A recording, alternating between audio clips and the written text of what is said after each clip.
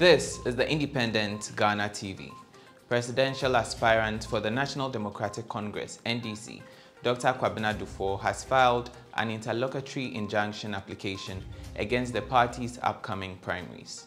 Dr. Duffuor wants the primary slated for Saturday, May 13th, halted over some alleged discrepancies his team has identified in the party's voters register.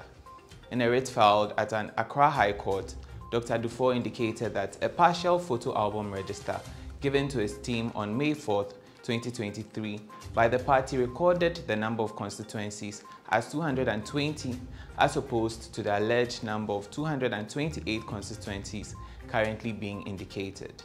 He stated that verification of the 220 constituencies established basic errors and inaccuracies that render the photo album register inaccurate and unreliable for a free, fair and credible elections.